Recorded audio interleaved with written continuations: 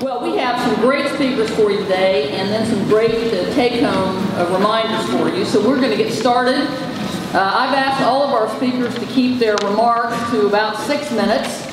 Uh, one of my speakers, Joe Bast, to leave uh, the conference, and I will tell you the reason he left is because a great scientist, Willie Soon, uh, is under attack by the left. And um, he asked Joe to come up to uh, be with he and his family for a couple of days as they're working through all these uh, attacks. So uh, Myron is going to replace him and uh, talk a little bit about some of the fabrications uh, of the people we're talking about today. But I'm going to go through all of the introductions of the people who are speaking and then ask them to just come up in order. And um, then at the end, I'll be making some remarks and then we'll open it up uh, for questions and we'll go through the final points that we have on the board. Our first speaker today is Congressman Bill Flores from Texas. Uh, not all Texans are experts in energy, but this Texan is. He was elected to the House of Representatives in November of 2010, and he's serving his third term, representing the 17th Congressional District of Texas. He serves on the House Energy and Commerce Committee. He's a ninth generation Texas, raised in the Texas Panhandle. Uh, he uh, has a, an MBA, a BBA in accounting. So uh, he's a really smart guy and he does know about energy as well. He served three decades as CFO, CEO, or COO of several companies. Uh, he's been married for 36 years. He now resides in Bryan, Texas. And um, he is going to be our first speaker today. Our second speaker will be Myron Ebell. Myron is the director of the Competitive Enterprise Institute Center for Energy and Environment, uh, which is a tremendously successful advocate uh, for free market environmentalism. He chairs what is known here in town as the Cooler Heads Coalition. It's an ad hoc coalition of 28 nonprofit groups that question global warming alarmism and oppose energy rationing policies. Uh, the Business Insider uh, commented that Myron Ebell may be enemy number one to the current climate change community. That's great. Congratulations. Yeah. Congratulations. Myron comes from Oregon, where he grew up on a cattle ranch. He earned degrees at Colorado College and the London School of Economics. Our third speaker will be Andrew Langer. Andrew is president of the Institute for Liberty, where he has been since 2008. Um, the Institute works on a variety of issues promoting and protecting small business, linking trade and prosperity, tilting against the regulatory state. Uh, but at the organization's core and Andrews, his desire is to promote freedom and individual rights. He's been involved in this uh, battle for nearly 20 years, and um, he used to be a regulatory affairs lobbyist for the National Federation of Independent Businesses. So today he's going to talk to you about the importance of citizens being involved in the regulatory process. Our final speaker is Gary Broadbent. Uh, Gary is the Assistant General Counsel and Media Director at Murray Energy Corporation, the largest privately held coal company in the United States. If you've been warm this winter, Thank Gary.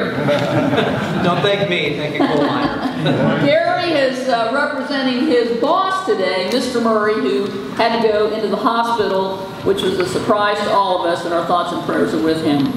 At Murray Energy, Gary is responsible for a wide variety of legal matters, including environmental, regulatory, and mine safety litigation, uh, commercial transaction, financial reporting, and some government affairs. Uh, he got his JD from Case Western Reserve Law School, uh, and he'll be our final speaker. Uh, and then I'll come up and talk a little bit about principles and why principles are important, and we'll go through our action items for the day. So, Congressman Flores, welcome to the podium.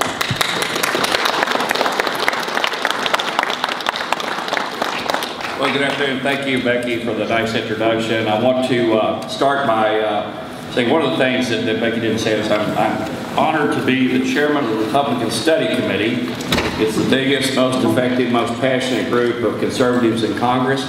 And uh, we've got three members of the Republican Study Committee staff with us today. Let me get this loaded up real quickly. Wrong one. Wrong folder.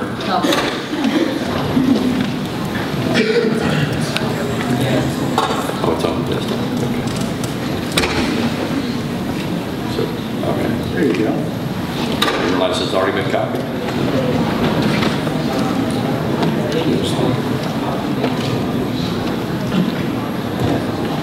But y'all didn't think I could drive it, did you? anyway, that's some of us old guys can do that. Anyway, I'm pleased to have three members of the Republican Study Committee team with me today. I've got Caitlin, Cameron, and Kelly. So you guys hold your hands up. Uh, they're with me. They helped. Uh, they were integral along with my team back in my personal office to help put this presentation together. Uh, as you know what the, the uh, the title of the panel is Climate, What, Time Stare, what Tom Steyer is it telling you? And uh, I think it's important for us to know what he's not telling you. Uh, first of all, I want to say this. It's great to be at CPAC 2015. It's an honor to see so many passionate conservatives that care about this country, the greatest nation on this earth, that want to stand up for the freedom that was hard fought and then want to preserve it for generations to come. It's also great to see our newest, youngest generations of conservatives here and so passionate because you're where the future is in terms of advancing the conservative cause moving forward. Let me start off by saying this. In order to have a great American future, we've got to have energy security. And this administration has done everything it can to stop or thwart American energy production. Now, the private sector has been able to overcome those headwinds, but it, it's getting tougher and tougher. And at the same time, they're trying to stop domestic energy production. They're spending billions on failed green energy programs like Solyndra. We've seen that. Now, there's a lot that Tom Steyer won't tell you about the, the Obama-Steyer climate objective or the, the climate agenda that, that many uh, liberals have. Here are the six tr inconvenient truths about that agenda that I think you need to know. It kills U.S. jobs. It costs trillions of dollars. It's based on junk science. It's based on fantasy technology. And it uses manipulated cost-benefit data. And last, and it doesn't even pass the smell test. And we're going to go through a little of each of these. Now, Yesterday I got to sit through a hearing with EPA Administrator Gina McCarthy, and all she kept telling me was, just trust us. okay. So let's have a little audience involvement. How, do you, how many of you don't trust the EPA? Okay, me too. Now, we're supposed to trust the bureaucrats in Washington and liberals like Barack Obama and Tom Steyer know more about how to create jobs and, and live our lives than we do. And we know better. Who makes the regulations that we're supposed to just trust? Well, until April of 2013, the EPA's top climate expert was a man named John Beale. How many of you have heard that name before? Okay, well, the rest of you are going to find out about this guy. He was a close advisor to the EPA administrator, and he wrote many of the climate regulations over the past several years. Now, where is John Beale today? The graphic says that he's in jail. Oh. In late 2013, he was sentenced to 32 months in jail for falsely claiming to be a CIA, CIA officer and a Vietnam veteran. For 13 years, he lied to the EPA and to the American people and defrauded taxpayers out of nearly $1 million by pretending to take secret spy trips in lieu of fulfilling his duties at the EPA. Now, sorry, President Obama, I don't trust your bureaucrats any farther than I can throw them. Now here's some more inconvenient truths. Let's go through the individual inconvenient truths about the uh, Obama energy agenda. It kills Americans' jobs. Now, there are a lot of different things I could talk about. I could talk about multiple agencies, I could talk about multiple laws, but I'm going to focus on two. One are some ozone regs that came out recently, and the second are Waters of the U.S., which came out a little earlier last year. The Friday after Thanksgiving, a big news day, the EPA rolls out its new ozone regs, and they want to propose a 20 and 25% cut in ozone levels. It's the most expensive regulation ever in the history of this world, point blank. By 2040, it would cost nearly 3 million jobs. And here's what it simply does. It increases the cost of doing business in America beyond what is reasonable. And when you increase the cost of business beyond what's reasonable, people, people move elsewhere and they take American jobs and paychecks with them. And so while we do this, Obama is exporting American jobs to China, India, and other countries with fewer regulations, and they send us their pollution. So no matter how much the EPA tightens U.S. standards, foreign-produced background pollution is going to come back into this country, particularly from Asia, traveling across the Pacific Ocean, including our environment. So, again, this is what the, the, liberal agenda wants to do with climate. They want to export our jobs and import their pollution. The, the next inconvenient truth is it's going to cost trillions of dollars. Every day we feel the impact of their out-of-control regulations. We feel the impact when we fill up our cars, when we heat our homes, and when we check our electric bill. Protecting jobs and keeping energy costs low are two of the best things that we can do to help struggling American families today, more of whom are living paycheck to paycheck than ever before. By 2040, the EPA's ozone emission standards will eliminate $3.5 trillion in economic output. Now, how much is $3.5 trillion? If you stack $3.5 trillion bills together together, you get almost 85% of the way to the moon. It only costs NASA 110 billion to get to the moon. If the EPA wants to touch the moon, it ought to call NASA instead of what it's doing today. now, the EPA climate agenda is based on junk science. The EPA justifies its strict ozone standards by saying that they can improve health benefits for Americans. But their assumptions are too often based on faulty science. There was a recent medical study that found no link between ozone and higher asthma rates in U.S. cities. Now, why is that? It's because we brought our ozone levels way down today under existing standards. The study did find, however, that poverty, not ozone, is the most single important determinant as to how, whether a person is more likely to have asthma. So if you really want to improve people's health, killing jobs, raising their cost of living, and putting them in poverty is the absolute last thing that Obama should be doing. Now, the EPA climate agenda is faced, oops, I need to go back one. A little quicker than there. The EPA uh, climate change is based on fantasy technology. And just to summarize this, here's what the EPA says.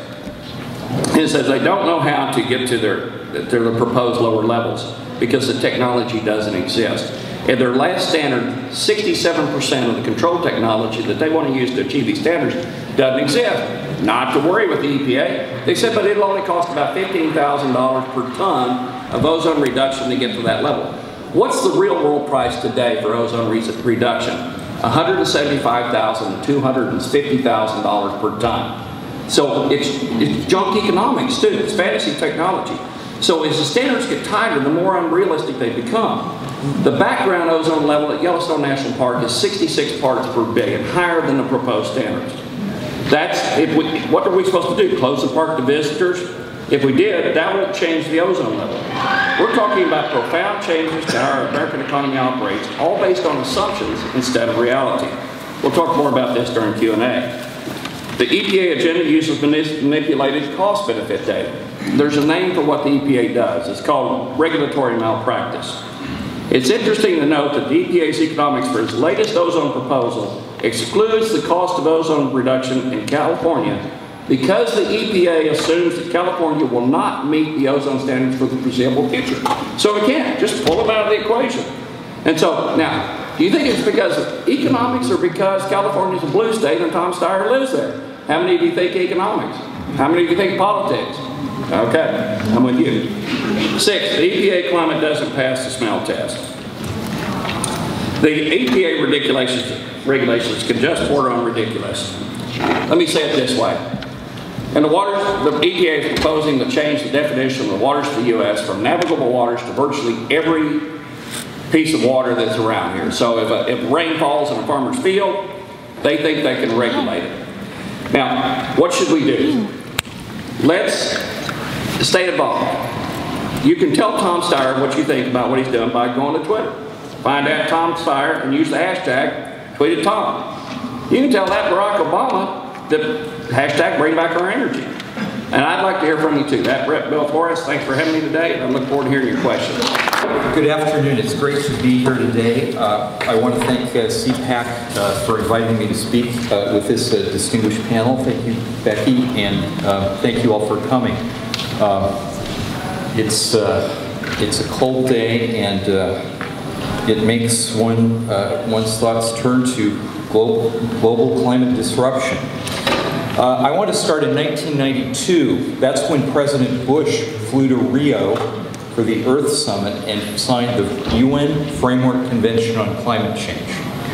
That was when the uh, leaders of, of almost every country in the world decided to put a noose around the global economy.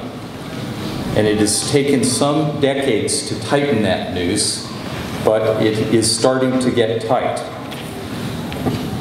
The next step after 1992 was during the Clinton administration when Bill Clinton and Al Gore cooked up what became the Kyoto Protocol. Now, you will recall that the US Senate never ratified the Kyoto Protocol, but uh, if you want to thank President George W. Bush for that, that's okay. But in fact, he did virtually nothing to stop the tightening of the noose. So we go next to President Obama, who is part of this agenda. I don't know why. Uh, he, as a legislator and a senator, he was never interested in environmental issues. Oh, I do know why. It's how you take control of the U.S. economy through environmental regulations over energy use. If you control what kind of energy people can use and how much, you control the economy. So, that's where we got to the beginning of the Obama administration. I want to shift now and tell you just a couple of things about the science, and then also a couple of slides that uh, Joe Bast might approve of. I'm sorry he's not here. But for anybody in the room who's under 18 years of age, you have not experienced any global warming. Right? There, there has been no global warming for the past 18 years. No increase in the global mean temperature. What has there been? There's been an increase in the model projections of how much warming there should be. All those squiggly lines are computer models. This was put together by John Christy. The little, the little dots and, and uh, triangles at the bottom are the satellite temperature data and the balloon temperature data. They agree quite closely. They don't agree with the model projections. Now, since we've all had some science in school, some of us here are scientists, when confronted with this kind of divergence, what do you do? Do you trust the models or do you trust the data? Trust the data. no, you trust the models. That don't every 97% of the world's climate scientists say, trust us. We've got the models and we know it's going to get warmer. So if the models and the data don't agree, you switch the data. Here's, here's something that NASA GISS did. Uh, the top graph is the old temperature graph for the United States from 1880 to 2010. And they just made the 1930s a lot cooler so that the past two decades look a lot warmer. So remember that. It's good science. If the data and the models disagree, go with the models. Uh, here's, a, here's an example of the kind of deception that we've lived under. This is the infamous hockey stick that Michael Mann fabricated, and that it took somebody outside of the climate, climate science community to discover the statistical sleight of hand that resulted in this, in this so-called hockey stick.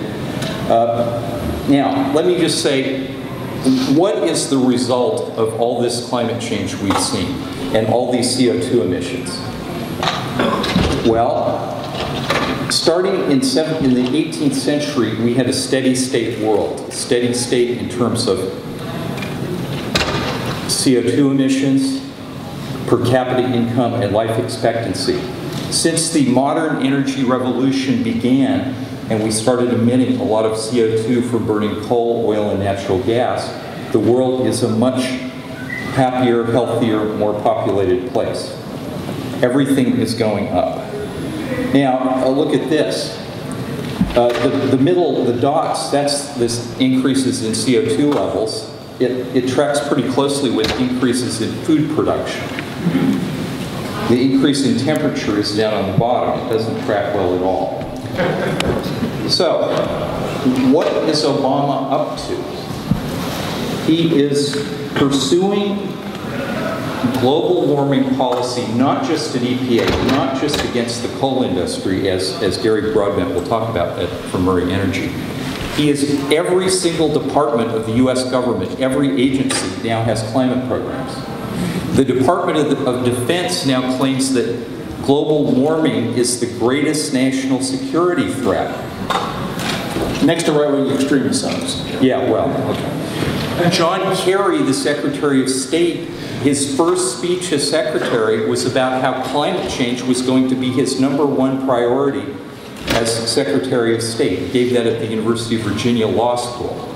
Now, this might explain why we have these problems around the world, because we have a Secretary of State and a President who are focused on global warming and not on what they consider to be lesser problems.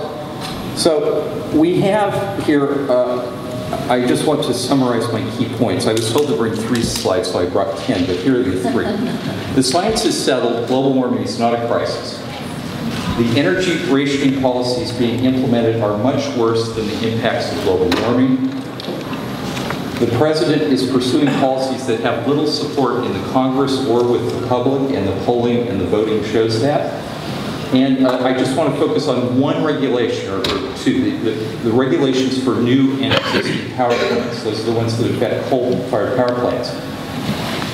If he gets away with this, Gina McCarthy and the EPA can do this, if they can finalize this, these regulations without Congress overturning them or without the Murray Energy lawsuit blocking them, they will turn all of the growing heartland economies like Indiana, Ohio, Texas, Kentucky, they will start looking like California and New York because the purpose of those policies is to raise energy prices. They've already done that in California with Governor Schwarzenegger and Governor Lamb. They've already done that in New York. They've already done that in New England. Which economy do you want to live in? Moreover, there's a, there's a political difference between these two worlds, right? There's John Shadegg, who represented Arizona as a Republican. Well, Arizona has affordable energy. It's a Republican state. Which states don't have affordable energy? They're all the states that have implemented this climate uh, agenda. So, uh, for more information, here's where you go. But I want to tell you how to take action. Uh, just we were supposed to have very simple things. So tell your senators and representatives to vote for an appropriations rider to block the EPA's Clean Power Plan, and tell your state legislators that the state should tell the EPA, no, we're not going to do it. And finally, if any of you doubt what this is all about, sometimes somebody on the other side lets it out of the bag. Some years ago, Jacques Chirac, when he was president of France, said, this is about a lot more than climate. This is about, this is the first genuine instrument of global governance.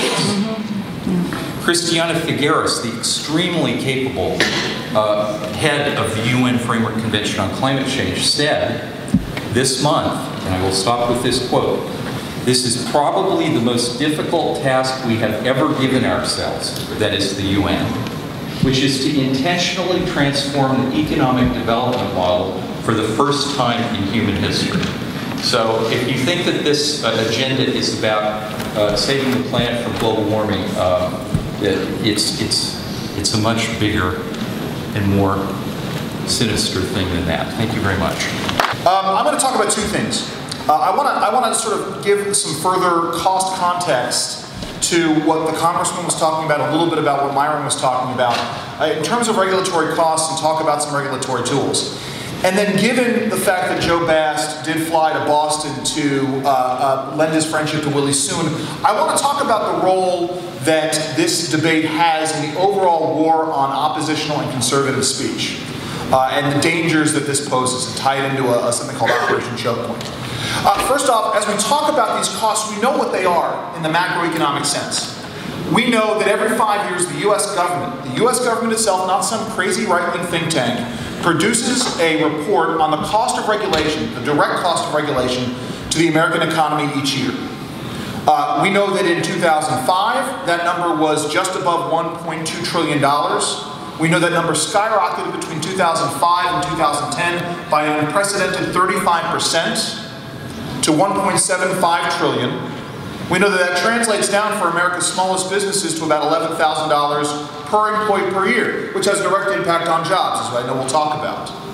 Uh, the important thing to recognize is this does not come without some great cost. regardless of where you are on the economic spectrum, you can be a, a, uh, a von Mises free market Austrian economist who believes that government needs to get out of the way, uh, or that government needs to uh, produce fewer taxes, or you can believe in Keynesian economics that government needs to prime the pump. But the fact is we have right now a roughly $2 trillion hole in our American economy. Actually, I think when the report comes out later on this year, that number is going to be somewhere about $2.3 trillion annually. a massive hole in an economy that is only $15 trillion in size. So the point is, when these agencies enact these regulations, uh, we need to be getting involved. I want to talk about, and the congressman touched on this a little bit, he talked about cost-benefit analysis. There's another tool that I like to talk about, which is comparative risk assessment. My father's an environmental scientist. This is something that he raised to me when I was a kid. It's the idea that you should compare regulatory decisions against not doing something or doing something different or something that's being done somewhere else. So it's not just about whether or not the benefits of a regulation outweigh the costs of it. That, uh, that only tells you if it's fiscally responsible. But comparative risk assessment tells you that when you raise the cost of energy on poor people, more poor people get sick, more poor people die. It has a direct impact on, on huge swatches of the economy overall. And it lets you prioritize what's important. Because frankly, if you ask most environmental scientists, regardless of this fictitious 97% number, global warming is not the number one priority amongst even environmental scientists in terms of the greatest threats to public health and the environment. It's clean water worldwide. And yet you don't hear that in the mythos that's out there. Most importantly, thank you, Todd. Most importantly, what you need to do is get involved. Myron talked about writing a member of Congress. I want you all to take down regulations.gov, the most important website you can visit. It's an area in which we don't play very well. You can comment on regulations. Anybody can comment on regulations, regulatory proposals that are coming out of the agencies. And so you file your comments. And frankly, I urge you all, when you create your comments, create them for your friends. Send out links with your model comments to your friends and urge them to, to send comments in as well. It's the only way you can get involved. It's the only way you can challenge a regulation once it's implemented. It is something the agencies, if you file comments of substance, the agencies have to respond. And then frankly, the numbers of comments that are out there is something that is talked about on Capitol Hill. Now, I'm going to leave it for the Q&A. I hope somebody asks me about this because I want to talk about the denigration uh, and the exposure uh, and, and, and, and, the war on conservative speech and how this all relates to it and this issue of Operation Choke Point. But I'm going to end right here. Thanks. Good afternoon, everyone. I'm Gary Broadbent. As Becky said, I'm Assistant General Counsel and Media Director for Murray Energy. In case there's any doubt, I am not Bob Murray. Mr. Murray uh, caught a flu bug, as Becky said. He's out of the hospital now and, on the mend. So uh, thank you for your thoughts and prayers. Um, I've come to you today from, from St. Clairsville, Ohio, which is a little town of 5,000 people in, uh, in coal country, Belmont County, Ohio. We're nine miles from the Ohio River. Uh, we are 30 and 45 minutes from two of the most highly productive coal mines that we have in the United States. Uh, I spent the first two years of my career with, with Murray Energy working out of one of those coal mines. And I, I wish that I had good news for you, but, but I don't. Uh, the Obama administration has fundamentally destroyed the United States coal industry. Before Obama took office, coal represented 52% of our country's electricity generation. It's down to 37% today, and it's falling fast.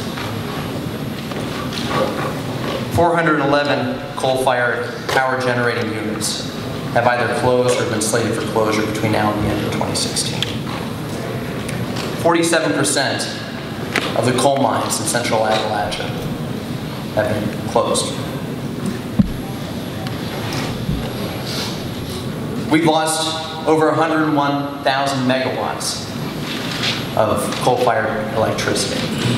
That's going to be, that, that's enough electricity to power over 100 million American homes. And what this all translates to are job losses. There have been tremendous job losses in, in the coal fields of the United States.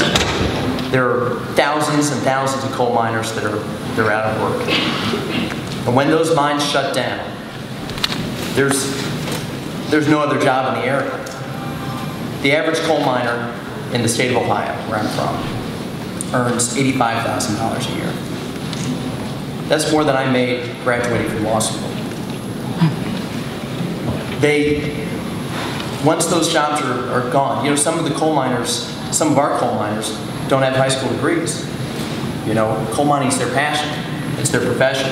It's all they know how to do. And once the mine closes, once the coal industry shuts down, there's no way that they can replace that income. There's no way that they can provide for their families like they've, like they've done in the past. We have 7,500 employees at, at Murray Energy. And I know Mr. Murray thinks about them every day. I think about them every day. I can guarantee you that Barack Obama does not think about them at all. Coal is the most affordable, reliable, and abundant source of energy that this world has ever known. We ought to be embracing it. Historically, coal has cost about 4 cents per kilowatt hour. Natural gas, by comparison, is about 15 cents a kilowatt hour.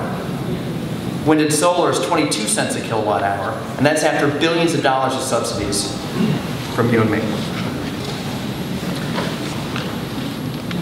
These increased energy costs hurt manufacturers and people who work for them. They hurt people who are on fixed incomes, our seniors.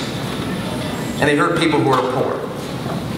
I, I grew up poor, and I know what it's like when the power company shuts off your electricity. And I know what it's like to be in a house that's cold and dark and without power. There's one billion people on the earth today that have no access to electricity.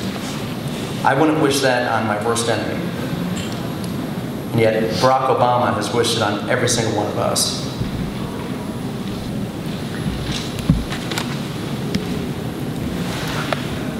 Andrew, Myron, Representative Flores, and Becky have talked about how there's no environmental benefit from from these regulations that have been imposed. Instead, it's just tremendous cost that's been saddling our economy and holding us back from true recovery. It's nothing short of a political power grab of America's power grid. That's what Mr. Murray calls it, and he calls it right. But Murray Energy Corporation is fighting back. Today we filed four lawsuits.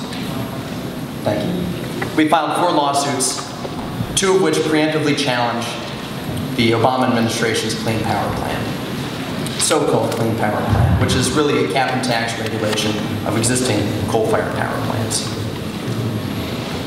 Those two lawsuits have been recognized by the Wall Street Journal as two of the premier litigation initiatives against this administration and its overreach, at least in, in the environmental arena. We're going to oral arguments on April 16th, just over here in the DC Court of Appeals, and I hope to see you all there. Yes, yeah.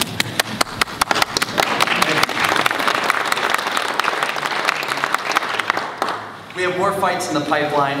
I won't touch on them today, but I, I want to invite you to, to join our fight, to educate yourselves about the coal industry and the challenges we face, to contact your senator, your senators, your congressmen, your uh, governors, your state utility commissioners, and let them know that this, uh, this all-out war on coal, this power grab of America's power grid, has got to stop. They've got to cease and desist. Finally, we, we have to elect a pro-coal president in 2016. Someone who's going to protect and defend coal miners, protect and defend their jobs, and defend the most affordable, reliable source of energy that this world has ever known, American coal. Thank you.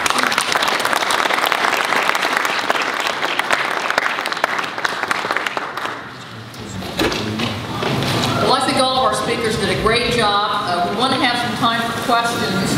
Uh, I just wanted to mention a couple things that I think is important for us to remember as we, uh, you know, as we're uh, leaving this room and going out another day.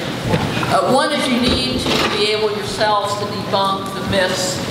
Most of everything you've heard today debunks myths that Al Gore and Tom Steyer, Steyer and his ilk uh, have put out there. One of the things I think is important for you to have in your library is this book, Unstoppable Global Warming Every 1500 Years by Fred Singer and Dennis Avery. If you do not have a copy of this book, you need to get one. You need to read it. You need to understand the basis uh, for the facts we're arguing for and the lies and misrepresentations we're arguing against. And then you need to remember that principles need to guide us on public policy. Uh, we have a guiding set of principles for this country, the Declaration of Independence and the Constitution of the United States. When you're dealing with environmental policy, you have to have a guiding set of principles. Heritage has worked with a, a lot of scholars, and we've come up with 10 uh, principles that are outlined in this book, The American Conservation Ethic. You need to get a copy of this and be thinking about principles that will guide you as you think about these issues and you talk to friends and neighbors. And then you have to come up with solutions. Poor Congressman Flores is on the Hill. Thousands of things are going on every day. Uh, everything's coming over the transom. They're looking for solutions. Uh, the Heritage Foundation, again, has worked with a number of scholars, some at this uh, very table, to develop the Environmental Policy Guide, 168 recommendations for environmental policy reform uh, that's available on our website. Find solutions that you can really uh, grab onto yourselves and talk about at the Rotary clubs and then communicate effectively with your elected representatives at all levels about principles and solutions. Now, we want to open this up for, uh, for questions. If you have a question, do raise your hand. I'm going to invoke the one breath rule. You have to be able to ask your question in one breath. Uh, the last point I want to make to you is, you know, we're fighting a battle in this country right now about net neutrality. In fact, we may have lost it by now. You know, net neutrality is a goal by this administration to keep you from getting the truth. This is just an example of an environmental fight. It's not in the environmental field. So look around and see how many fights out there affect your ability to get truth and be a good citizen uh, of this great nation. Okay, I see uh, Peter one breath. Doesn't Congress have the power to repeal these regulations under the Congressional Review Act? Congressman. Yes, we have the power, but no, it's not feasible today, and here's why. Under the Congressional Review Act, we have the ability to introduce a resolution to veto a set of regulations.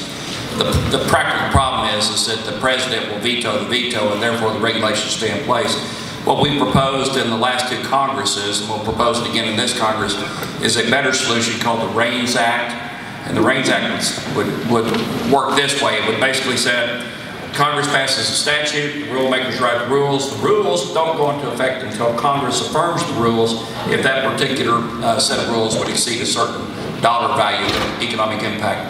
Wall Street Journal said the Reagan Act would be the single biggest uh, change, uh, improvement to the regulatory structure in this town that, that the country has ever, or that the, the government's ever had available to it.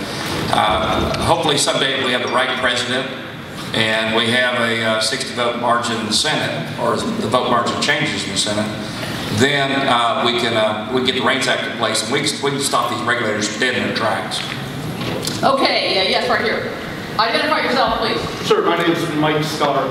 Uh, two years ago, I wrote an article for the Huffington Post about Bob Murray, who was Ken Cuccinelli's top contributor in Virginia out of the Global Warming Record, and I called him an extremist. I was sued for that. It was called defamation. Now I wanted to know, in relation to Operation Choke Point, is it both offensive and defensive? Are you trying to silence your critics by filing these meritless lawsuits that tied me up in court for the better part of a year? That was I wasn't the only That was definitely more than one sued. breath. Oh, sure. Yeah, that was a sermon. I, I, I can tell you this. Mr. Murray started Murray Energy Corporation from scratch. He mortgaged his home to buy his first coal mine. He started that company in 1988. He's, he started out working underground.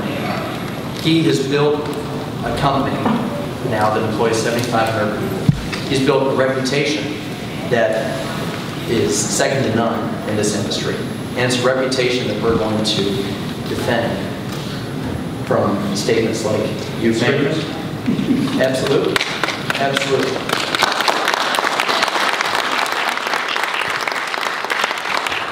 Right here, one breath, one breath. I'm Charles Marshall from Dayton, Ohio. How does Tom Steyer benefit economically from all these regulations that? Well, I mean, Tom Steyer is a, uh, uh, is a billionaire based in California. Uh, he heavily lobbies Congress for uh, uh, green energy interests that he himself benefits from. And, so essentially, it's, it's a two-way, it's a two-pronged strategy. It's sort of the ultimate in crony capitalism, right? He argues for greater regulation on his competitors, and then he, uh, he works to get subsidies for his green energy mood novels. So he, he makes that on both, in both ways. Uh, There's a question for Mr. Langer. Yeah. Can you tell us a little bit more about the denigration of uh, Republican oppositional speech? Absolutely. I mean, this is an ongoing theme in this administration, and it, it, it, you know, it's it's different from what this gentleman is talking about in terms of the fact that it, it, when this when this administration has opponents, when the left has opponents, they go after the funders of it. Uh, they want greater exposure of, of who is going after this so they can bully people into no longer funding uh, critical, uh, uh critical research and research that uh, is skeptical of anthropogenic climate change. Uh, operation Choke Point is a joint operation by the Department of Treasury, the Department of Justice, the FDIC, and the, um, and the Consumer Financial Protection Bureau. Uh, it's one that has been used to go after industries that the uh, administration has no statutory or regulatory authority to shut down. Yet, as the House Government Reform and Oversight Committee just reported, uh, that the administration has a personal animus against. We believe, the Institute for Liberty, that an Operation Choke Point style tactic could be used to silence uh, conservative organizations and anybody who's advocating for uh, issues and on issues that an administration declares to be fraudulent, using this mythical 97% uh, consensus number. Someone can declare that uh, skepticism and advocacy for skepticism to man-made climate change is tantamount to committing fraud. We also think that given what they want to do in terms of getting at, in any way possible, uh, carbon emissions, that Operation Choke Point could be used to uh, shut down the bank accounts and credit card payment processors of those engaged in the energy industry and who are deemed polluters by the administration. Thank you, Andrew. This lady right here in the front row, you have the last question. I wanted to ask about the carbon sequestration. Uh, when the EPA talks about something that doesn't really technologically exist effectively, uh, do they mean carbon as in the element carbon, or are they talking about tracking CO2, a highly unstable gas? Look, they're, they're talking about taking uh, carbon dioxide from a smokestack produced by burning something, typically coal, but it could be natural gas or wood, and piping it somewhere underground. Uh, it, it, it's technically feasible. I mean, there are pilot plants, but the EPA claims it's a proven technology for, for uh, which is why they are requiring it for coal-fired power plants. It, it raises the cost of electricity, however, and moreover, uh, carbon dioxide is, is a naturally occurring gas necessary for life on Earth. And we have 400 parts per million in the atmosphere, but in our lungs we have more like 40,000 parts per